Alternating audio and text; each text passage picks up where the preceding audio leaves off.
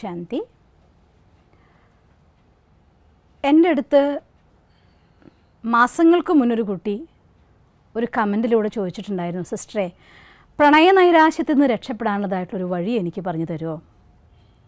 ഞാൻ അത്രയ്ക്ക് അതിനെ സീരിയസ് ആയിട്ട് എടുത്തില്ലായിരുന്നു. കുറച്ച് നാളുകൾക്ക് ശേഷം ഒരു കുട്ടി എന്റെ അടുത്ത് കൗൺസിലിങ്ങിന് വേണ്ടി വന്നു. പ്രണയ നൈരാശ്യം കൊണ്ട് എനിക്ക് പഠിക്കാനാവുന്നില്ല ചെയ്യാനാവുന്നില്ല മുന്നോട്ട് പോകാൻ പറ്റുന്നില്ല. ഞാൻ എന്താ ചെയ്യേണ്ടതെന്ന് ചോദിച്ചുകൊണ്ട് വന്നു. അന്ന് ഞാൻ ആ കുട്ടിക്ക് വേണ്ടി കൗൺസിലിംഗ് കൊടുത്തു. അപ്പോഴും അതിനുവേണ്ടി ഒരു വീഡിയോ ചെയ്യണമെന്ന് ഞാൻ ആഗ്രഹിച്ചില്ല. കുറച്ച് ദിവസങ്ങൾക്ക് മുന്നേ ഒരു ചെറുപ്പക്കാരൻ എന്റെ അടുത്ത് വന്നു. ജോലി ചെയ്യുന്നുണ്ട്. ബിസിനസ് നോക്കുന്നുണ്ടായിരുന്നു. നന്നായിട്ട് പോകുന്നുണ്ടായിരുന്നു. ഒരു വർഷം മുന്നേ എനിക്കൊരു ബ്രേക്കപ്പ് ഉണ്ടായി. അതോടെ എന്റെ മനസ്സ് തകർന്നു പോയി. ഒന്നിനും ശ്രദ്ധിക്കാനാവുന്നില്ല. ഒരു കാര്യം എനിക്ക് ചെയ്യാൻ പറ്റുന്നില്ല. ഞാൻ എന്താ ചെയ്യുക എന്ന് ചോദിച്ചുകൊണ്ട് എന്റെ അടുത്തേക്ക് വന്നു. ഇങ്ങനെ അടുത്ത് വരുന്നവരുടെ ഫോണിലുള്ളതായിട്ടുള്ള കൗൺസിലിങ്ങിന് വേണ്ടി റിക്വസ്റ്റ് ചെയ്യുന്നവരുടെ എണ്ണം ദിവസം കഴിയും തോറും കൂടിക്കൊണ്ടിരിക്കുക.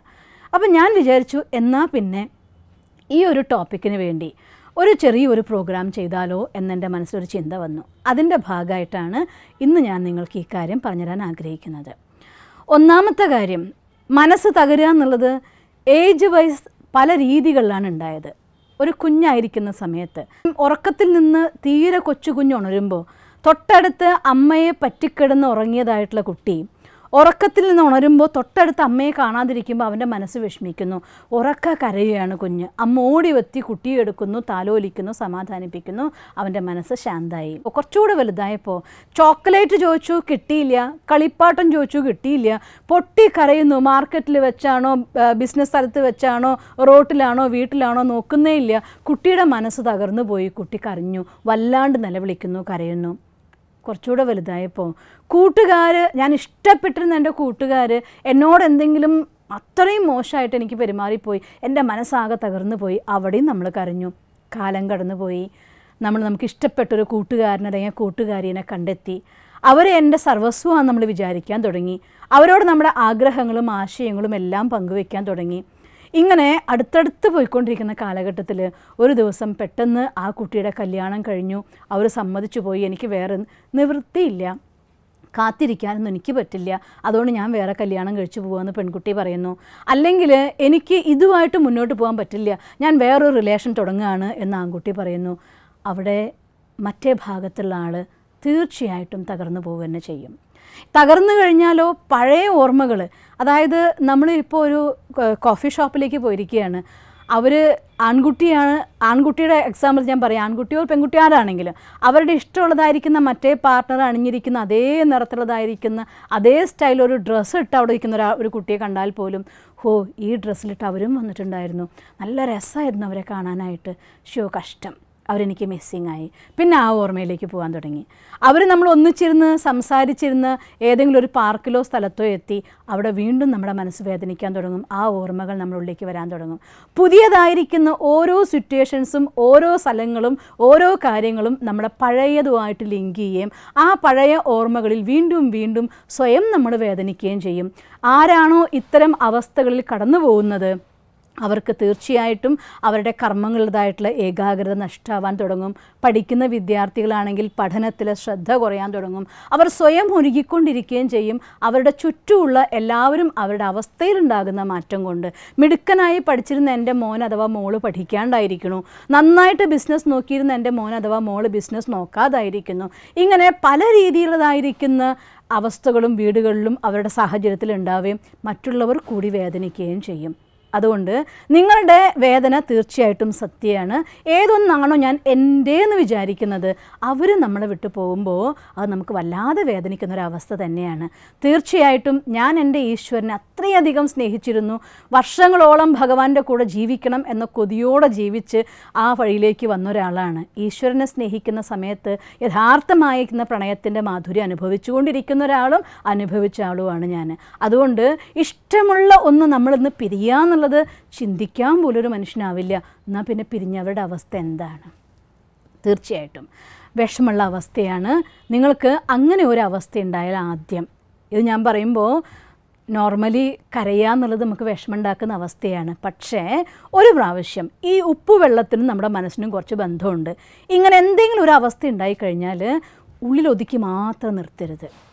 ഒന്നുകിൽ മുറിയിൽ അടച്ചിട്ടിരുന്നിട്ടോ ഏതെങ്കിലും വിധത്തിൽ മതിയാവോളം അങ്ങ് കരഞ്ഞു തീർക്ക്. ഞാൻ കരയണില്ല ഞാൻ കരയണില്ല കരയണില്ല എന്ന് പറഞ്ഞ് ഇങ്ങനെ പിടിച്ചു നിൽക്കുമ്പോണ്ടല്ലോ ഉള്ളിന്റെ ഉള്ളിൽ അതിങ്ങനെ വിങ്ങി വിങ്ങി വിങ്ങി വിങ്ങി ആ മുറിവ് ഇങ്ങനെ ആഴത്തിൽ ആഴത്തിൽ ആഴത്തിലായിക്കൊണ്ടിരിക്കും അതുകൊണ്ട് കുറച്ച് ഉപ്പുവെള്ളം അങ്ങ് പുറത്തേക്ക് ഒഴുകട്ടെ.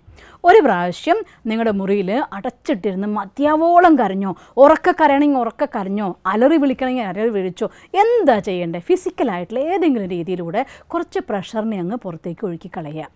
കുറച്ച് കരഞ്ഞു കഴിയുമ്പോൾ മനസ്സ് എവിടെയോ സ്റ്റില്ലായ പോലെ നമുക്ക് തോന്നിപ്പോവും. കണ്ടിന്യൂസ് ആയി കരയാനല്ല കേട്ടോ ഞാൻ പറഞ്ഞത്. ഒരു പ്രാവശ്യം മനസ്സ് തുറന്നങ്ങ് നമുക്ക് ഒഴുക്കണം പുറത്തേക്ക്. അത് കഴിഞ്ഞ ശേഷം എന്ത് ചെയ്യണമെന്നറിയോ? ഒരു പേപ്പറും പെന്നും എടുക്കുക. എന്നിട്ട് നിങ്ങൾ അവരുടെ ക്വാളിറ്റികൾ നിങ്ങൾ എന്തൊക്കെയാണോ അവരിൽ നിങ്ങൾ കണ്ടെത്തിയിരുന്നതായിട്ടുള്ള ക്വാളിറ്റി. ചിലരെ സംബന്ധിച്ചിടത്തോളം നമ്മൾ പറയുന്നത് അതേപോലെ ഒരു മനസ്സിലാക്കിയിട്ടുണ്ടായിരിക്കാം. അതായിരിക്കാം അവരോട് നിങ്ങൾക്കുണ്ടായ ഇഷ്ടം. ചിലപ്പോൾ അവരുടേതായിട്ടുള്ള ഫിഗർ ആയിരിക്കാം. അല്ലെങ്കിൽ മറ്റേതെങ്കിലും ആയിരിക്കാം. ഇങ്ങനെയുള്ള ഭൗതികമായിരിക്കുന്ന എന്തെങ്കിലും കാരണങ്ങൾ അല്ലെങ്കിൽ പേഴ്സണാലിറ്റിയിൽ എനിക്ക് കുറച്ച് ക്വാളിറ്റി ഉണ്ട് അത് അവരിൽ കുറച്ച് കൂടുതൽ കാണുമ്പോൾ സ്വാഭാവികമായിട്ടും ഞാൻ കണ്ടിരിക്കുന്നത് ഇത്തരം റിലേഷൻഷിപ്പ് ക്രിയേറ്റ് ചെയ്യപ്പെടുന്നത് ഒന്നുകിൽ നമുക്കൊരു സാന്ത്വനം തേടിയിട്ട് അതല്ലാന്നുണ്ടെങ്കിൽ എന്നിൽ കുറച്ച് ആ ക്വാളിറ്റി ഉണ്ട് അത് അവർ നന്നായിട്ട് പ്രൊജക്റ്റീവായിട്ട് കാണുന്നുണ്ട്. അപ്പോൾ സ്വാഭാവികമായിട്ടും ലോ ഓഫ് പ്രൊജക്ഷൻ പ്രകാരം അവർക്ക് അഡിക്ഷൻ ഉണ്ടാവാൻ സാധ്യതയുണ്ട്. ഇങ്ങനെയാണ് അധികം റിലേഷൻസും ക്രിയേറ്റ് ചെയ്യപ്പെടുന്നത്. അപ്പോൾ അതൊക്കെ നമ്മുടെ മനസ്സിന് എനിക്ക് നഷ്ടം നഷ്ടം നഷ്ടം എന്നുള്ള ഫീലിംഗ് ക്രിയേറ്റ് ചെയ്യും. അപ്പം അതുകൊണ്ട് നമ്മൾ എന്ത് ചെയ്യണം എന്ന് വെച്ചാൽ അവർ നിങ്ങൾക്ക് ഇഷ്ടപ്പെട്ട ക്വാളിറ്റി എന്തൊക്കെയായിരുന്നു? അവരുടെ സാമീപ്യം കൊണ്ട് അവർ നന്നായിട്ട് നിങ്ങളെ ചിരിപ്പിക്കുന്ന കൂട്ടത്തിലായിരുന്നു. അവരുടെ ചിരിക്കാത്ത മുഖം ഞാൻ കണ്ടിട്ടേ ഇല്ല എപ്പോഴും ചിരിക്കുന്ന മുഖമായിരുന്നു എന്ന് വെച്ചാൽ അർത്ഥം നിങ്ങൾക്ക് ആ ഒരു വ്യക്തിനെ അല്ല ആവശ്യം. നിങ്ങൾക്ക് ആവശ്യം നിങ്ങളെ ഹാപ്പി ആക്കുന്ന ഹാപ്പി ആയിരിക്കുന്ന ഒരു കമ്പനി ഒരു കൂട്ടാണ് നിങ്ങൾക്ക് ആവശ്യം എന്നർത്ഥം. നിങ്ങളെ മനസ്സിലാക്കുന്ന ഒരു കൂട്ടാണ് നിങ്ങൾക്ക് ആവശ്യം എന്നർത്ഥം. അതുകൊണ്ട് നിങ്ങൾ അവരിൽ കണ്ട എല്ലാ ക്വാളിറ്റി എഴുതിക്കോളൂ. മറുഭാഗത്ത് നിങ്ങളുടെ ഇപ്പോഴുള്ളതായിരിക്കുന്ന സഹോദരങ്ങൾ അല്ലെങ്കിൽ നിങ്ങളുടെ റിലേറ്റീവ്സ് മറ്റു ഫ്രണ്ട്സ് ഇങ്ങനെ ആരിലെങ്കിലുമൊക്കെ തീർച്ചയായിട്ടും ഇതുപോലുള്ള ക്വാളിറ്റി ഉണ്ടാവും. പിന്നെ ഈ പ്രകൃതിയുടെ ആകർഷണം കൊണ്ടുണ്ടാകുന്ന ട്രാപ്പിങ്ങിൽ അതല്ലാതെ മറ്റൊന്നും നമുക്ക് കാണാത്തൊരവസ്ഥ വന്ന് പോവുകയാണ്. അതുകൊണ്ട് നിങ്ങളുടെ റിലേഷൻസിനെ one by one one by one analyse ചെയ്ത് നോക്കിയൊക്കെ ആരെങ്കിലുമൊക്കെ ഇതേപോലെ നിങ്ങളെ മനസ്സിലാക്കുന്നവരുണ്ടാവും. ആരെങ്കിലുമൊക്കെ ഇതേപോലെ നിങ്ങൾ അപ്രീഷിയേറ്റ് ചെയ്യുന്നവരുണ്ടായിരിക്കും.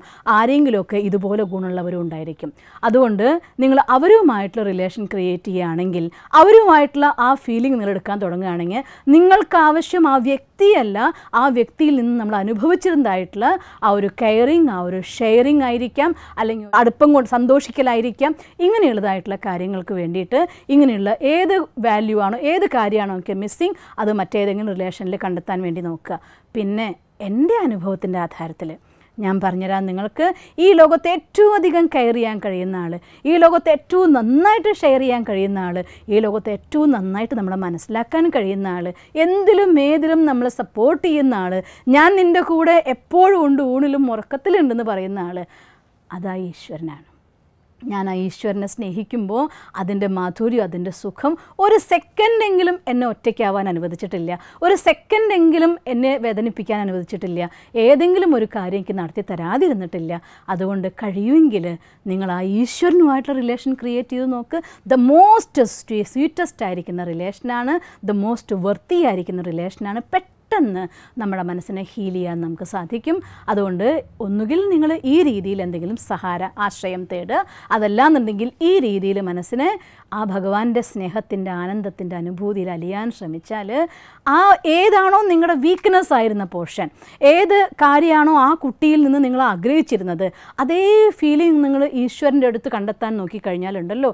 നിങ്ങളെ ഈ ലോകത്തിൽ എവിടെ വേണമെങ്കിൽ കൊണ്ടെത്തിക്കാനുള്ള ഒരൊറ്റ കാരണം നിങ്ങളുടെ ആ ഒരു നിരാശ അല്ലെങ്കിൽ ഒരു ബ്രേക്കപ്പ് ആയിട്ട് നിങ്ങൾക്ക് മാറും. അതുകൊണ്ട് നിങ്ങളുടെ തകർച്ചയെ ഏറ്റവും ഉയരത്തിലേക്ക് കൊണ്ടുപോകാനായിട്ട് നിങ്ങൾക്ക് സാധിക്കുകയും ചെയ്യും. ഈ രീതിയിൽ തീർച്ചയായിട്ടും ആരാണോ ഇത്തരം അവസ്ഥകളിലൂടെ കടന്നു പോകുന്നത് ഇനി നിങ്ങൾക്ക് അങ്ങനെ ഇല്ലെങ്കിൽ നിങ്ങളുടെ കൂട്ടുകാർക്കോ നിങ്ങളുടെ സഹോദരങ്ങൾക്കോ ആർക്കെങ്കിലും ഉണ്ടെങ്കിൽ അവർക്ക് തീർച്ചയായിട്ടും ഈ ഒരു ആശയം നിങ്ങൾ ഷെയർ ചെയ്യണം. അവരും അവരുടെ മനസ്സിന്റെ തകർന്ന അവസ്ഥയിൽ നിന്ന് എല്ലാം നേടിയ അവസ്ഥയിലേക്ക് ദുഃഖത്തിന്റെ കയത്തിൽ നിന്ന് ആനന്ദ സാഗരത്തിലേക്ക് പോകട്ടെ. അതിനവരെ സഹായിക്കണം. നിങ്ങൾക്കങ്ങനെ സാധിക്കട്ടെ എന്ന് ഞാൻ ഈശ്വരനോട് പ്രാർത്ഥിക്കുകയാണ്.